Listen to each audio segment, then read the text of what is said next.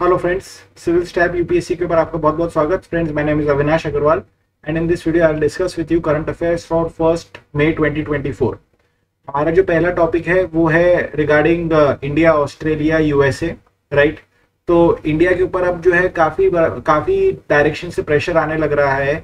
जैसे for instance Canada और India के रिलेशनशिप्स काफ़ी टेंशन भरे चलने लग रहे हैं। बिकॉज़ कैनेडा ने इंडिया के ऊपर एलिगेशन लगाया है कि आपने हमारे टेरिटरी के ऊपर असैसिनेशन करवाया है। यूएस ने जो है इंडिया के ऊपर एलिगेशन लगा रखा है कि आपने जो है हमारे टेरिटरी के ऊपर, हमारे किसी एक सिटीजन का जो है असैसिनेशन का प्लॉट बनाया है। ऑस्ट्रेलिया ने जो है अब हमारे ऊपर एलिगेशन लगाया है कि नेस्ट ऑफ़ स्पाइस जो है इंडिया के जो है ऑस्ट्रेलिया के अंदर काम करने लग रहे हैं और इन्होंने जो है ऑस्ट्रेलिया की नेशनल सिक्योरिटी को इंडिया ऑस्ट्रेलिया की स्ट्रेटेजिक इंटरेस्ट को जो है हर्ट करा है। और इस वजह से ऑस्ट्रेलिया ने इंडिया के कुछ स्पाइस को जो या इंडिया के कुछ पर्सन को जो है एक्सपेल भी करा है दोस्तों। तो यही सारी चीज़ें जो है, यहाँ पर जो है डिस्कस करी जाने लग रही है राइट तो मैं आपको ये सारा मैटर जो है क्विकली बता देता हूँ राइट सो जो नेस्ट ऑफ़ स्पाइस की बात है, वो यहाँ पर बता रखी है कि ऑस्ट्रेलिया कह रहा है कि इंडिया के एक नेस्ट ऑफ़ स्पाइस जो है, ऑस्ट्रेलिया में काम करने लग रहे हैं। वो नेस्ट ऑफ़ स्पाइस जो है ट्रेड सीक्रेट्स एयरपोर्ट की सिक्योरिटी के सीक्रेट्स एक्सेट्रा स्टील कर रहे हैं। वो जो है इंडियंस जो कि ऑस्ट्रेलिया में रह रहे हैं, उनकी मॉनिटरिंग कर रहे हैं, वो जो है क्लोज रिलेशनशिप बनाने की कोशिश करते हुए करंट एंड फॉर्मर पॉलिटिशियंस ताकि उनको जो है इंपॉर्टेंट इंपॉर्टेंट सीक्रेट जो है मालूम पड़ सके दोस्तों राइट तो ये प्रकार के एलिगेशन लगे हैं। हाल फ़िलहाल के अंदर आपको मैं बताना चाहूँगा कि जो वॉशिंगटन पोस्ट है, उन्होंने एलिगेशन लगाया था अपने एक आर्टिकल के थ्रू कि जो रॉ के चीफ सामंत गोयल है, उन्होंने खालिस्तानी सेपरेटिस्ट गुरपतवंत सिंह पन्नू की जो असैसिनेशन है, उससे रिलेटेड प्लान ऑफ़ एक्शन बनाया था और वॉशिंगटन पोस्ट में ये भी एलिगेशन लगाया गया था कि शायद इंडिया के जो national security adviser Ajit Doval है, उनको भी इस प्लान ऑफ़ एक्शन के बारे में जानकारी होगी। तो चारों बाजू से जो है इंडिया के ऊपर काफ़ी सारा इस प्रकार का प्रेशर आने लग रहा है दोस्तों। इसी के ऊपर जो है आगे बात करते हुए मैं आपको बताना चाहूँगा कि हाल फ़िलहाल के अंदर इंडिया कैनेडा रिलेशनशिप के अंदर एक और डेवलपमेंट हुआ। तो हुआ ये दोस्तों कि खालिस्तान डे सेलिब्रेट करा जा रहा था कैनेडा के अंदर। तो इस खालिस्तान डे सेलिब्रेशन के अंदर जो वहाँ के प्रधानमंत्री है, Justin Trudeau as well as जो वहाँ के अपोजिशन लीडर हैं, पियरे पोइलेवरे, ये सब पहुँचे हुए थे और इनकी मौजूदगी के अंदर जो है जो है प्रो खालिस्तान सिंबल स्लोगन जो है, वहाँ पर सुनाई देने को मिले हमारे को उस इवेंट के अंदर। तो जैसे ये इवेंट हुआ तो फिर इंडिया ने क्या करा कि इंडिया ने जो क्या जो रिप्रेजेंटेटिव है, जो high commissioner deputy high commissioner है राइट कनाडा के, उनको जो है इंडिया ने समन करा और उनसे जो है हमने कठिन को सवाल पूछे कि आप अपनी टेरिटरी के ऊपर क्या करने लग रहे हैं दोस्तों? तो आप देख सकते हैं दोस्तों कि जैसे ही प्रो खालिस्तान स्लोगन्स कनाडा के अंदर पब्लिकली करे जाने लग रहे हैं तो वो कहीं ना कहीं इंडिया के जो क्लेम है या जो इंडिया का एलिगेशन है, उसको सब्सटेंशिएट करता है कि इंडिया का हमेशा ये डर है कि दोस्तों सेपरेटिस्ट एक्टिविटीज़ को बढ़ावा दिया जाता है कनाडा के अंदर यूएस के अंदर, उन, इन प्रकार के एलिमेंट्स को शरण दी जाती है। और उसकी वजह से एंटी इंडिया एक्टिविटीज़ जो है, उनको बढ़ावा मिलता है दोस्तों। तो इंडिया ने हमेशा इन कंट्रीज़ को कहा है कि आप लोग अपना भी माहौल मत खराब होने दीजिए, अपने देश का भी माहौल मत खराब होने दीजिए और अगेंस्ट इंडिया वाली जो एक्टिविटीज़ है, उनको आपको कंट्रोल करने में हेल्प करनी चाहिए दोस्तों। इसी के बीच में आपको मैं याद दिलाना चाहूँगा ये हरदीप सिंह निज्जर। तो हरदीप सिंह निज्जर की जब किलिंग हुई तो कैनेडा ने जो है इंडिया के ऊपर एक बेबुनियाद जो है एलिगेशन लगाया कि इंडिया की जो एजेंसीज है या इंडिया के जो इंटेलिजेंस ऑफिसर्स है वो इन्वॉल्व है हरदीप सिंह निज्जर की किलिंग के अंदर दोस्तों, जबकि कोई प्रॉपर एविडेंस जो है वो लोग दे नहीं पाए हैं दोस्तों। एंड इंपॉर्टेंट चीज़ यहाँ पर ये है कि कनाडा जो है it is continuing to provide a lot of room lot of latitude for a lot of anti India elements to operate जो कि नहीं होना चाहिए दोस्तों। यही चीज़ इस एडिटोरियल के अंदर लास्ट में लिखी गई है कि अल्टीमेटली इंडिया यही चाहता है कि जो एलाइज है, वो एलाइज के जैसे बिहेव करे और जो पीस मेंटेन होना चाहिए, जो इंडिया की सिक्योरिटी मेंटेन होनी चाहिए उन सारी चीज़ों के अंदर इनको जो है इंडिया का सपोर्ट करना चाहिए, ना कि जो है अन्य प्रकार के एलिमेंट्स को सपोर्ट करना चाहिए is the basic idea that is coming out of this article another very important article is this related to AstraZeneca right so AstraZeneca वो कंपनी है जिसने उस वैक्सीन को बनाया, जिस वैक्सीन ने कोविड 19 को हराया दोस्तों। और इसी एस्ट्राजेनिका की वैक्सीन के बेसिस के ऊपर इंडिया के अंदर कोविशील्ड वैक्सीन को हमने बनाया और इसी कोविशील्ड वैक्सीन को जो है हमने, हमारे 175 करोड़ बार जो है हमने इस वैक्सीन को इंडिया के अंदर दिया। तो इंडिया के अंदर इस वैक्सीन का नाम कोविशील्ड है, जिसको सेरम इंस्टीट्यूट, जो कि पुणे बेस्ड कंपनी है, उन्होंने मैन्युफैक्चर करा था दोस्तों। अब ये वैक्सीन न्यूज़ में क्यों चलने लग रही है दोस्तों? अब ये वैक्सीन न्यूज़ में चलने लग रही है because of TTS what is TTS दोस्तों? टीटीएस है thrombocytopenia syndrome. Thrombocytopenia syndrome TTS का मतलब ये होता है कि ऐसा हो सकता है कि आपके खून में क्लॉट हो जाए, वो क्लॉट जाके आपके हार्ट के किसी आर्टरी या वेन के अंदर ब्लॉक हो जाए और उसकी वजह से जो है आपको हार्ट अटैक आ जाए और उसकी वजह से आपकी मृत्यु हो जाए। टीटीएस के अंदर जो है आपका प्लेटलेट काउंट भी जो है गिरता हुआ नज़र आता है तो कई सारे खतरनाक जो है सिम्टम्स टीटीएस के देखने को मिलते हैं। तो बोला ये जाने लग रहा है दोस्तों कि एस्ट्राजेनिका ने जो है एडमिट करा है कि इट इज़ अ पॉसिबिलिटी कि हमारे वैक्सीन की वजह से जो है टीटीएस हो सकता है राइट तो ये प्रकार का जो इवेंट है दोस्तों, ये प्रकार का जो इवेंट है, ये ना केवल एस्ट्राजेनिका ने अभी एक्सेप्ट करा है, ये इंडियन गवर्नमेंट ने भी एक्सेप्ट करा था दोस्तों कि हाँ ऐसी पॉसिबिलिटी है कि टीटीएस हो सके बट इंडियन गवर्नमेंट ने कहा था कि 0.6 आउट ऑफ़ मिलियन केसेस के अंदर जो है टीटीएस आपको देखने को मिलेगा। यही सारी चीज़ों का जो है पुष्टिकरण आपके वर्ल्ड हेल्थ ऑर्गेनाइजेशन ने भी करा है। वर्ल्ड हेल्थ ऑर्गेनाइजेशन ने कहा है कि टीटीएस की पॉसिबिलिटी या फिर इस प्रकार के रेयर इवेंट्स की पॉसिबिलिटी है। वो पॉसिबिलिटी है 0.5 to 6.8 cases out of one lakh doses administered दोस्तों। तो ये 0.5 टू 6.8 इतनी बड़ी रेंज क्यों है दोस्तों? इसका कारण ये है कि नॉर्डिक कंट्रीज़ कुछ कंट्रीज़ के अंदर, कुछ पॉपुलेशन के अंदर टीटीएस होने की प्रोबेबिलिटी ज़्यादा है। और कुछ कंट्रीज़ के अंदर, कुछ लोगों के अंदर, जैसे एशियंस के अंदर टीटीएस होने की प्रोबेबिलिटी कम है। तो इसीलिए जो है, ये वेरिएशन आपको देखने को मिलने लग रहा है। सेम प्रकार की बात लैंडसेट ग्लोबल हेल्थ के अंदर भी बताई गई है। सेम प्रकार की बात इंडिया के अंदर भी मालूम है राइट तो ये सारा सारा मैटर चलने लग रहा है। अब पॉइंट ये है कि क्या है हमने ये वैक्सीन जो कोविशील्ड वैक्सीन है, जो इसको हमने एडमिनिस्टर करा, ये जानते हुए कि टीटीएस की पॉसिबिलिटी एग्जिस्ट करती है? क्या हमने ये डिसीज़न सही लिया था या गलत लिया था? तो इसका सीधा आंसर ये कि हमने डिसीज़न सही लिया था। ऑल दो ये ऑब्वियस ही बात है, बहुत गलत है, बहुत दुखजनक है, बहुत खराब है कि somebody loss their life because of TTS because of the vaccine right लेकिन अगर आप लार्जर स्केल के ऊपर देखेंगे, जिस रफ्तार के ऊपर पैंडेमिक चल रहा था, जिस सिवियरिटी के ऊपर पैंडेमिक चल रहा था, जितनी लोगों की जाने जा सकती थी बिकॉज़ ऑफ़ पैंडेमिक उनको बचाने का एक ही तरीका था ये वैक्सीन और इसीलिए इस वैक्सीन को दिया गया।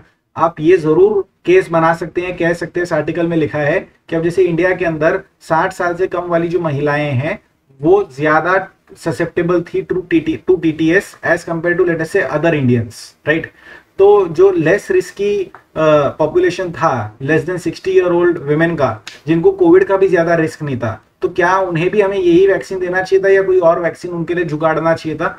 इसके बारे में हम डिबेट कर सकते हैं, लेकिन मोटी बात यह है कि इस वैक्सीन की वजह से काफ़ी हेल्प हमारे को मिली है। इतनी हेल्प मिली है कि एज ऑफ़ नाउ भी नया वैक्सीनेशन करवाने की रिक्वायरमेंट नहीं है। हमारे पॉपुलेशन के अंदर एंटीबॉडीज एग्जिस्ट कर रही है और हम जो है कोविड नाइन्टीन के अगेंस्ट इम्यून है। इतना ज़्यादा प्रोटेक्शन हमारे को अभी भी मिला हुआ है। तो ये जो यूके के अंदर अभी जो इस वैक्सीन के अगेंस्ट जो काम चल रहा है या एस्ट्राजिनिका के अगेंस्ट जो काम चल रहा है तो उसके अंदर आपको मैं ये चीज़ बताना चाहता हूँ दोस्तों राइट तो अब क्या होएगा कि वहाँ पर जिन लोगों की जाने गई या जिन लोगों को एडवर्स इवेंट्स देखने को मिले बिकॉज़ ऑफ़ दिस वैक्सीन तो उन लोग ने क्या करा कि एस्ट्राजिनिका के अगेंस्ट केस कर दिए हैं। तो ऐसे करके इक्यावन केसेस फ़ाइल करे गए हैं और ऐसा माना जा रहा है कि 100 मिलियन पाउंड तक की पेनल्टी जो है एस्ट्राजेनिका को पे करनी पड़ सकती है दोस्तों। तो क्या ये पेनल्टी का पैसा इंडियंस को भी मिलेगा तो नहीं मिलेगा दोस्तों? क्यों नहीं मिलेगा? क्योंकि हमारे नियम, कायदे, कानून, न्यायपालिका सब कुछ अलग है दोस्तों। हमारी वैक्सीन भी किसी और कंपनी ने बनाई है जिसका नाम है सेरम इंस्टीट्यूट ऑफ़ इंडिया और इंडिया के अंदर ये प्रकार के केसेस को आप कोर्ट के अंदर लेकर जाकर इस प्रकार के डैमेजेस क्लेम नहीं कर सकते हो दोस्तों राइट तो ये सारी मोटी बातें हैं, मैंने आपको सारा का सारा बता दिया है। ए टू जेड आपको मैंने पूरा बता दिया है राइट आप इसको पढ़ के पढ़ेंगे तो आपको पूरा समझ में आएगा दोस्तों। ये एक छोटी न्यूज़ है कि एडमिरल दिनेश त्रिपाठी को जो है नेवी चीफ बना दिया है, ये भी मैंने आपको बता दिया है। उसके अलावा दोस्तों this is a repeat article right repeat in the sense कि मैंने कुछ दिनों पहले आपसे बात करी थी कि इंडिया के अंदर हीट वेव चलने लग रही है और वो हीट वेव के दो मेन कारण है, वो है एल नीनो और एंटी साइक्लोन इस आर्टिकल के अंदर उस चीज़ को डिस्कस करा गया और थोड़ा सा बेटर डिटेल्स के साथ डिस्कस करा गया, जो कि मैं आपको क्विकली बताना चाहता हूँ कि क्या डिस्कस करा गया। अब देखिए दोस्तों, इतना ज़्यादा बातचीत इस टॉपिक के बारे में इसलिए हो रही है क्योंकि अप्रैल के अंदर 26 दिन ऐसे गए हैं, जहाँ पे किसी ना किसी प्रकार की हीट वेव चली है। छोटे लेवल पे चली हो, बड़ी लेवल पे चली हो, कोई ना कोई लेवल के ऊपर हीट वेव चली है, जिसकी वजह से ये डिस्कशन इतना ज़्यादा करा जाने लग रहा है दोस्तों। अब इंडिया के अंदर हीट वेव सिर्फ़ चली नहीं है दोस्तों। दो तीन चीज़ें हैं जो कि बहुत यूनिक हुई इंडिया के अंदर। यूनिक ही हुई कि ये कॉन्सेप्ट जो कि आपको मालूम होना चाहिए, वो है कोर हीट वेव जोन दोस्तों। तो इंडिया का जो कोर हीट वेव जोन है, वो है north India north west India central India east India और नॉर्थ ईस्ट पेनिनसुला दोस्तों। आप यहाँ पर देख सकते हैं राइट ये हमारा कोर हीट वेव जोन है। हमारे को इस फोर हीट वेव जोन में ज़्यादा हीट वेव देखने को नहीं मिली। हमारे को हीट वेव देखने को मिली सदर्न पेनिनसुला के अंदर और साउथ ईस्टर्न कोस्ट के ऊपर, दोस्तों।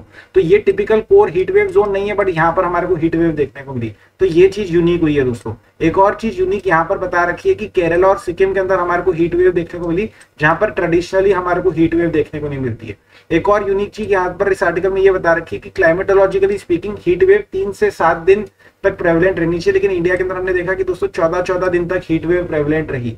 ये सारी बातों को ध्यान में रखते हुए हमारे को ये समझ में आता है कि जो आईपीसीसी ने कहा था कि जो हीट वेव्स है इंडिया के अंदर लॉन्गर रहेगी और हीट वेव्स जो है नए रीजन के अंदर देखी जाएगी, जहाँ पर पहले नहीं देखी जाती है तो आईपीसीसी की किसी रिपोर्ट के अंदर ये बात देखी हुई थी और ये बात सच हो गई है दोस्तों राइट तो ये मोस्ट इंपॉर्टेंट नई चीज़ें हैं जो कि इस आर्टिकल के अंदर से निकल कर आ रही है। बाकी अगर कोई नया बच्चा है जिसको हीट वेव का मतलब नहीं मालूम है तो यहाँ पर हीट वेव का पूरा मतलब बता रखा है दोस्तों। हीट वेव का मतलब ये है कि अगर आप प्लेन एरिया में रहते हैं टेम्परेचर 40 डिग्री क्रॉस करा, यानी कि हीट वेव है। अगर आप कोस्टल एरिया में रहते हैं टेम्परेचर 37 डिग्री क्रॉस करा, यानी कि हीट वेव है। अगर आप हिली एरिया में रहते हैं टेम्परेचर 30 डिग्री क्रॉस करा, यानी कि हीट वेव है। हीट वेव दो प्रकार की हो सकती है नॉर्मल भी हो सकती है सीवियर भी हो सकती है। नॉर्मल हीट वेव का मतलब ये है कि temperature is 4.5 to 6.4 degrees above normal severe heat wave का मतलब ये है कि temperature is 6.4 degrees above normal right तो ये सारे डेफिनेशन है हीट वेव के राइट right? अगर टेम्परेचर कहीं पर भी 45 डिग्री से ज़्यादा गया तो हीट वेव बोलना पड़ेगा। कहीं पर भी टेम्परेचर 47 डिग्री से ज़्यादा गया तो सीवियर हीट वेव बोलना पड़ेगा दोस्तों। अब अगर आप सोच रहे हैं कि भैया, ठीक है, चलो हीट वेव तो बता दिया, अब ये भी बता दो कि हीट वेव क्यों आई है तो उसके दो कारण है दोस्तों। सबसे पहला कारण है एल नीनो एल नीनो एक वेदर पैटर्न है दोस्तों, जहाँ पर अब normal warming of surface water देखने को मिलता है इक्विटोरियल पैसिफिक ओशन के अंदर। और कई पार्ट्स ऑफ़ द वर्ल्ड के अंदर आपको एक्सट्रीम हीट देखने को मिलती है। तो ये तो ये कारण है। दूसरा कारण है दोस्तों परसिस्टेंट एंटी साइक्लोनिक सिस्टम्स दोस्तों। एंटी साइक्लोनिक सिस्टम्स का मतलब ये होता है कि इस प्रकार का सर्कुलर विंड पैटर्न आपको देखने को मिलेगा। कहाँ देखने को मिलेगा? तीन kilometre above the surface of earth में देखने को मिलेगा। कितना बड़ा विंड पैटर्न है ये दोस्तों? ये हज़ार से दो हज़ार किलोमीटर एरिया को कवर कर लेता है, यानी कि बहुत बड़े एरिया को कवर कर लेता है। राइट? और इस विंड पैटर्न के अंदर क्या होता है दोस्तों की एयर ऊपर से नीचे आती है दोस्तों। और जब एयर ऊपर से नीचे आती है और नीचे वाली एयर को इस प्रकार से दबाती है तो नीचे वाली एयर गर्म हो जाती है। और जब नीचे वाली एयर गर्म हो जाती है तो आपको गर्मी लगती है दोस्तों। राइट? तो ये प्रकार से एंटी साइक्लोनिक मूवमेंट जो है चलता है। अब इस एंटी साइक्लोनिक मूवमेंट की एक और प्रॉब्लम है दोस्तों। ये एंटी साइक्लोनिक मूवमेंट क्या करता है ना दोस्तों कि ये लैंड ब्रीज को प्रमोट करता है सी ब्रीज को प्रमोट नहीं करता है। लैंड ब्रिज और सी ब्रिज का मतलब तो आप लोग जानते ही होंगे दोस्तों कि अगर ये इंडिया है तो यहाँ पर से इस प्रकार से लैंड ब्रिज को ये प्रमोट कर देता है। क्यों? किस प्रकार से कर देता है क्योंकि ये ऐसे जा रहा है और फिर ऐसे आ रहा है राइट तो आप देख सकते हैं कि यहाँ पर भी हवा को बाहर धक्का मार रहा है, यहाँ पर भी हवा को बाहर धक्का मार रहा है राइट तो ये लैंड ब्रिज को बहुत प्रमोट कर देता है। तो लैंड ब्रिज को जब ये प्रमोट कर देता है दोस्तों तो जो सी ब्रिज का जो मॉडरेटिंग इफ़ेक्ट है वो हमारे को नहीं मिलता और जो हमारे को थोड़ी सी राहत मिलनी चाहिए वो हमारे को नहीं मिल पाती है। तो ये मोटा मोटी इस पूरे आर्टिकल का डिस्कशन है, जो कि मैंने आपको एकदम प्यार से तोड़ के हाथ में दे दिया है। जब आप पढ़ेंगे तो आपको बड़ा मज़ा आएगा। उसके बाद, दोस्तों रीडिस्ट्रीब्यूशन ऑफ़ वेल्थ के ऊपर बहुत राजनीति चल रही है। तो इसी रीडिस्ट्रीब्यूशन ऑफ़ वेल्थ का एक बहुत ही डिटेल्ड बहुत ही शानदार आर्टिकल दिया है। उस सारे आर्टिकल की मैं आपको पूरी जानकारी दे देता हूँ, दोस्तों। थोड़ा सा आपको ध्यान से सुनना पड़ेगा, अच्छे से सुनना पड़ेगा, क्योंकि बहुत अच्छा आर्टिकल है, दोस्तों। राइट एक आईएएस ऑफिसर ने लिखा है, जो कि यूपीएससी की तैयारी करवाते हैं तो उनका बहुत अच्छा लिखा हुआ आर्टिकल है। ठीक है? अब देखिए बात यह है दोस्तों economic justice inequality property wealth distribution etcetera की बातें हो रही है राइट तो क्या प्रॉपर्टी आपका फंडामेंटल राइट है या नहीं है?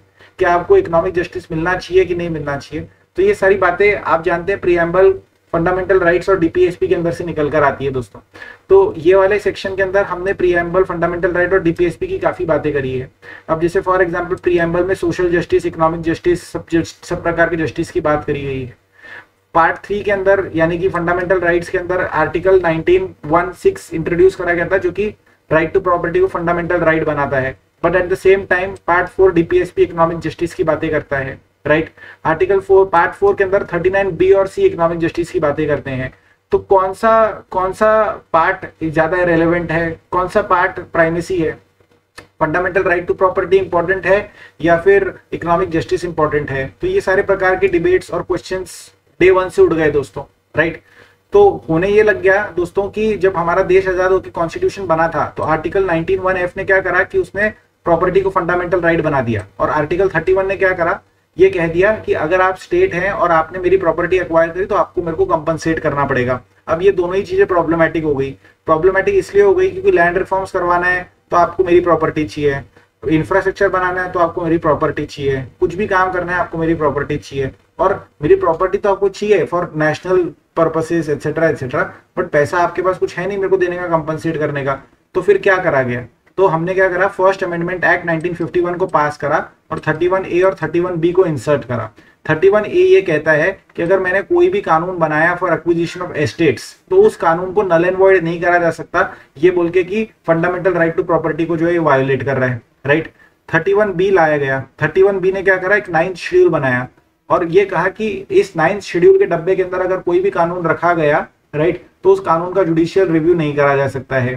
तो बेसिकली ये कानून क्यों लाए गए?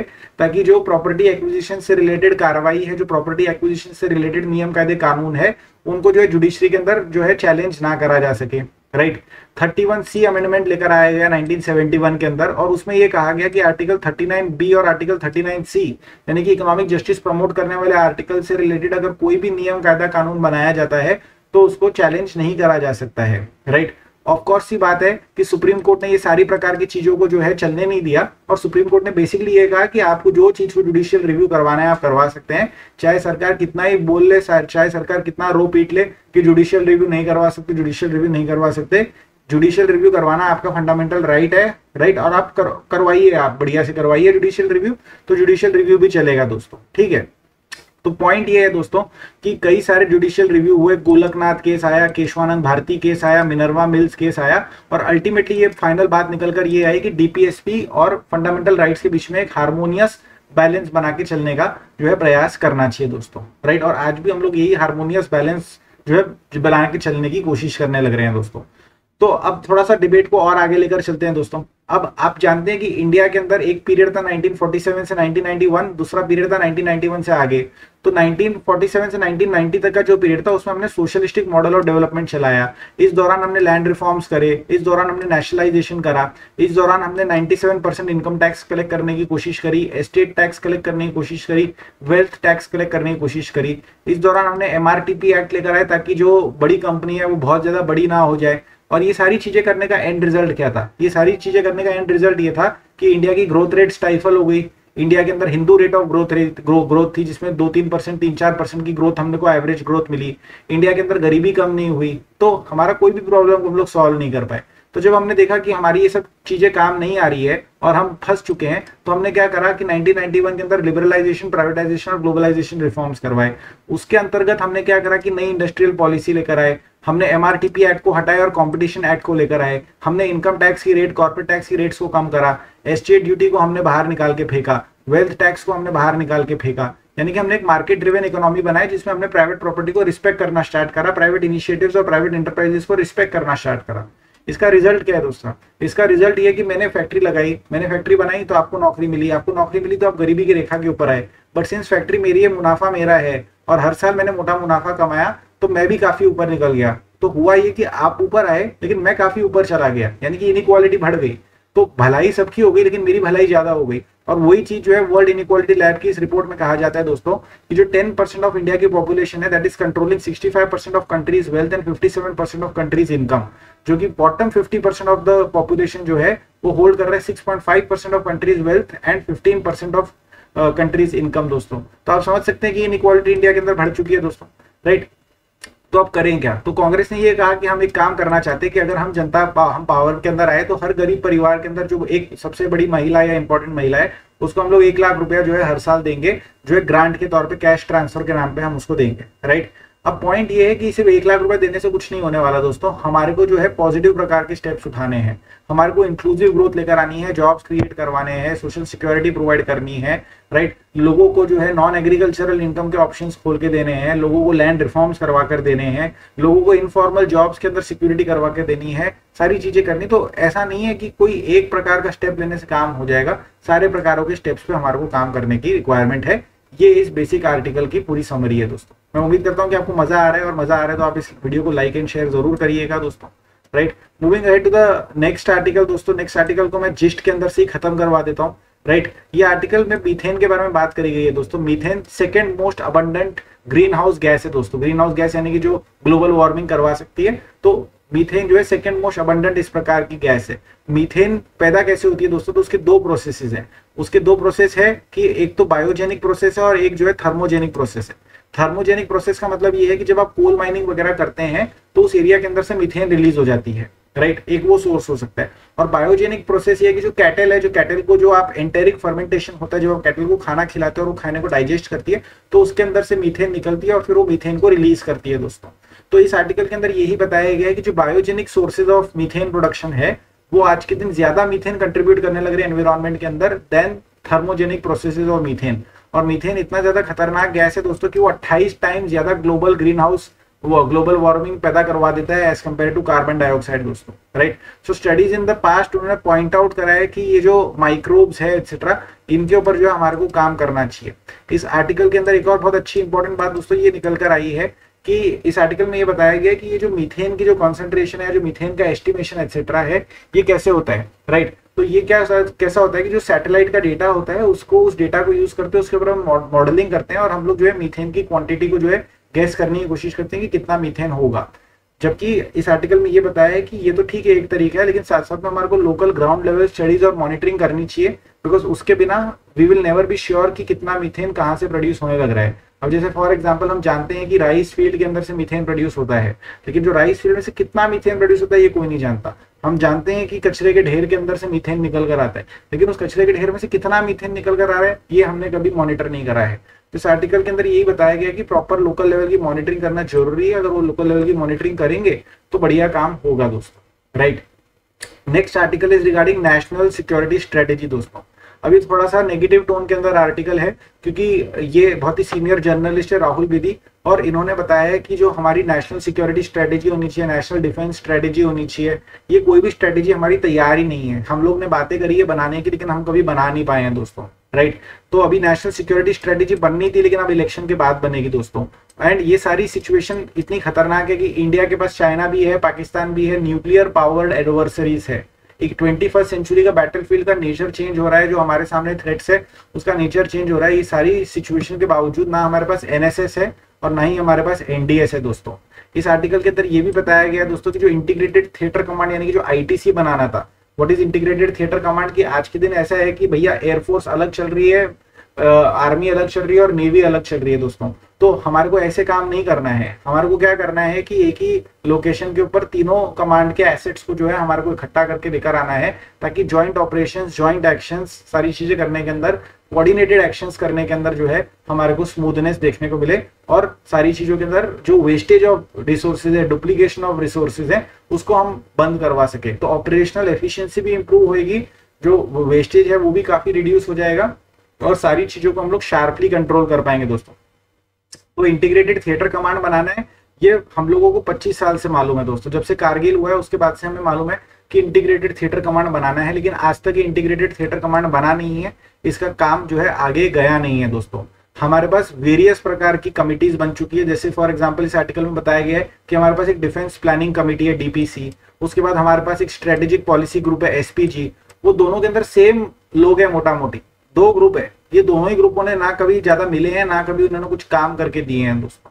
राइट उसके बाद जो है, हमारे पास चीफ ऑफ़ डिफेंस स्टाफ है। अगेन उसमें से भी हमारे को बहुत ज़्यादा निकल कर नहीं आया है। राइट तो ये जो दोनों ऑर्गेनाइजेशन है एसपीजी एनएसएस जो कि नेशनल सिक्योरिटी एडवाइजर के अंतर्गत काम करते हैं, इन्होंने बहुत ज़्यादा कुछ इनपुट्स प्रोवाइड करे नहीं है। अब अगर आप सोच रहे कि इंडिया के पास थिंक टैंक्स की कमी है क्या तो इंडिया के पास बहुत सारे थिंक टैंक्स है डिफेंस से रिलेटेड जैसे Manohar Parrikar institute for defence studies and analysis यानी कि इडसा फिर उसके बाद है हमारे पास तीन और फोर स्पेसिफिक थिंक टैंक जैसे centre for land warfare studies national maritime foundation centre for air power studies तो आप देख सकते हैं कि तीनों विंग से रिलेटेड हमारे पास थिंक टैंक है।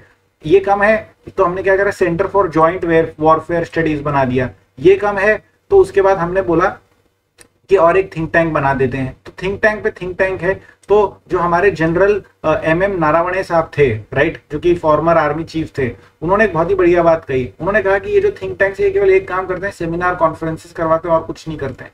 और जो नेशनल सिक्योरिटी स्ट्रेटेजी बननी चाहिए डिफेंस स्ट्रेटेजी बननी चाहिए सारी चीज़ें तो अधूरी रह जाती है। तो फिर नारावणे साहब ने रिकमेंडेशन ये दिया कि आप एक काम करिए एच बनाइए हायर डिफेंस ऑर्गेनाइजेशन बनाइए और ये सारी चीज़ों को आप जो है तैयार करवा कर लीजिए। तो बात मोटी ये है दोस्तों कि जो आने वाली सरकार है, उसको इसके अंदर डिले नहीं करना चाहिए और तेज़ी से ताबड़तोड़ तरीके से जो है अच्छा काम करके देने का प्रयास करना चाहिए दोस्तों। उसके बाद दोस्तों एक और इंपॉर्टेंट आर्टिकल है रिगार्डिंग वैक्सीनेशन जो कि मैं आपके सामने रखना चाहता हूँ। 2024 एक बहुत ही इंपॉर्टेंट ईयर है, क्योंकि 50 साल हो चुके हैं दोस्तों, हमने जो है ईपीआई e को लॉन्च करे हुए 50 साल हो चुके हैं, यानी कि जो expanded programme on immunisation WHO ने रिकमेंड करा था उसके आज 50 इयर्स हो चुके हैं राइट तो इस एक्सपेंडेड प्रोग्राम की खास बात यह है कि इसने हमारे को स्मॉल पॉक्स और पोलियो और ये प्रकार के जो खतरनाक बीमारी है, इनके अगेंस्ट जीत दिलाई। अब जैसे इंडिया के अंदर 1978 के अंदर जो है हमने इस प्रोग्राम को लॉन्च करा। इसी प्रोग्राम का नाम हमने 1985 के अंदर चेंज करके यूनिवर्सल इम्यूनाइजेशन प्रोग्राम यानी कि यूआईपी कर दिया। अब आप देखेंगे इंडिया के अंदर कितनी प्रोग्रेस हो चुकी है। जब 1974 में ये सब स्टार्ट हुआ था तो हमारे पास केवल छह डिजीजेस के अगेंस्ट वैक्सीन थे। आज हमारे पास तेरह डिजीजेस के अगेंस्ट वैक्सीन है जो कि हम लोग लगा रहे हैं। एडिशनल सत्रह डिजीजेस के अगेंस्ट वैक्सीन है जो कि हम लगा सकते हैं। और 125 पैथोजेंस के खिलाफ वैक्सीन ऑलरेडी बनाया जाने लग रहा है। इतनी ज़्यादा प्रोग्रेस हो चुकी है दोस्तों कि 1970s के अंदर लगभग पाँच परसेंट बच्चों को जो है डीपीटी के तीन डोजेज मिलते थे।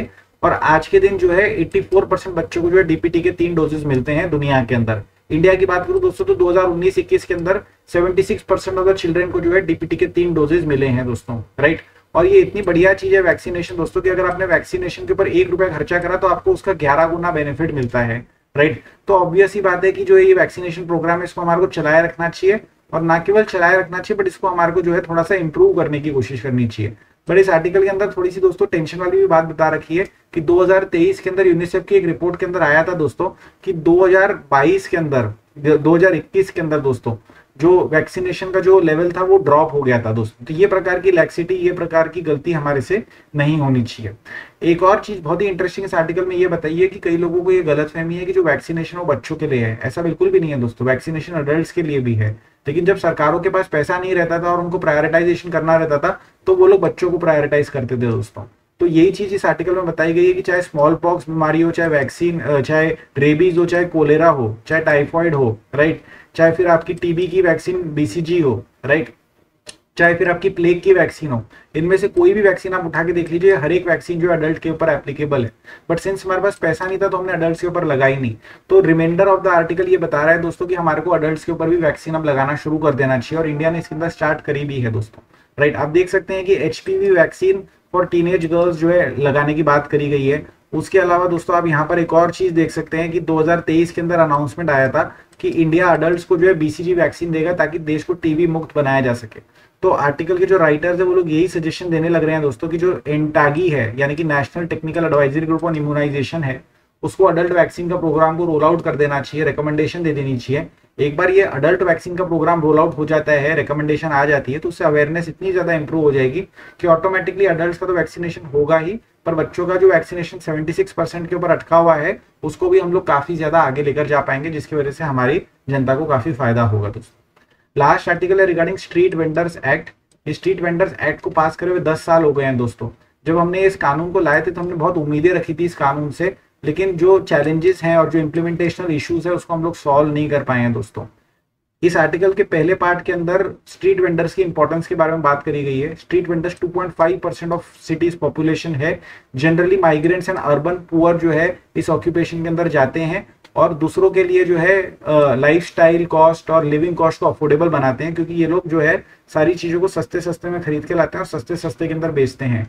स्ट्रीट वेंडर्स हमारे कल्चर का इंटीग्रल पार्ट है। आप मुंबई आएँगे तो मैं आपको वड़ा पाव खिलाऊँगा। वड़ा पाव खिलाने के लिए ठेले पे लेकर जाऊँगा। ठेला इज़ टू स्ट्रीट वेंडर मैं अगर चेन्नई आऊँगा तो आप मेरे को डोसा खिलाने लेकर जाना, डोसा खिलाने आप स्ट्रीट वेंडर के पास लेकर जाना दोस्तों।